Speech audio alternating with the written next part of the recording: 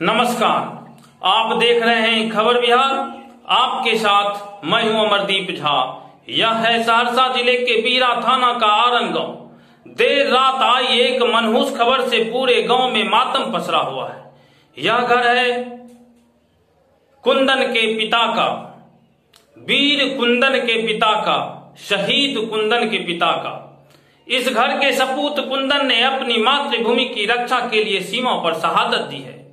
कुंदन की शहादत के सम्मान में पूरा गाँव उनके घर पर जुटा है। पत्नी की पीड़ा आँखों से बह रही है। लेकिन इन सब के बीच एक शख्स ऐसा भी है जिनकी आँख में आँसू नहीं है। या यूँ कहें कि उसने अपनी आंसुओं पर विजय पा ली है। यह है कुंदन के पिता की।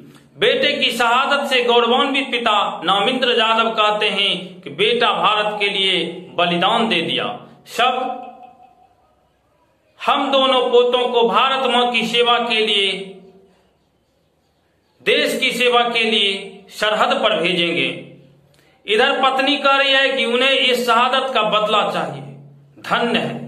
धन्य है ये परिवार जो टूटना तो जानता है झुकना नहीं।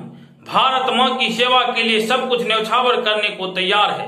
कुंदन के परिवार को सांत्वना देने पहुँचे गाँव वाले भी भारत सरकार से इन सैनिकों की शहादत का बदला लेने की मांग कर रहे हैं। इनका कहना है कि हमें झुकना नहीं चाहिए। ईट का जवाब पत्थर से देना चाहिए। धन्य है। क्षण फरोशी की तमन्ना अब हमारे दिल में है। देखना है ज़ोर कितना वाजवे का दिल में है।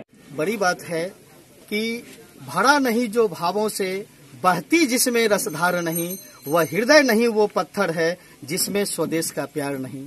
हमें तो गर्व है अपने कुंदन पर। हमें तो गर्व है अपने सैनिकों पर जिन्होंने मेरे लिए हमारे अपने हिंदुस्तान के लिए उन्होंने अपना बलि, बलिदान चढ़ा दिया, अपना बलि चढ़ा दिया। और हम सरकार से मांग करते हैं, भारत सरकार से मांग करते हैं कि जो कुंदन ने अपनी बलि दी है, ये व्यर्थ नहीं जाना चाहिए। चाइना में घुस करके चाइना सरकार को ये बता दे कि भारत बहुत मज़बूत है, भीतर से भी और बाहर से भी। घुस करके मारे और चाइना चाइना को बता दे, अपनी औकात बता दे, ताकि हम लोग को ये लगे कि कुंदन की जो शहादत है, कुंदन की जो शहीद हुए, वो व्यर्थ नहीं जाए। उसका बदला जो है, एकदम मजबूती से भारत सरकार ले। हम पूरे तमाम देशवासी भारत सरकार के साथ खड़े हैं।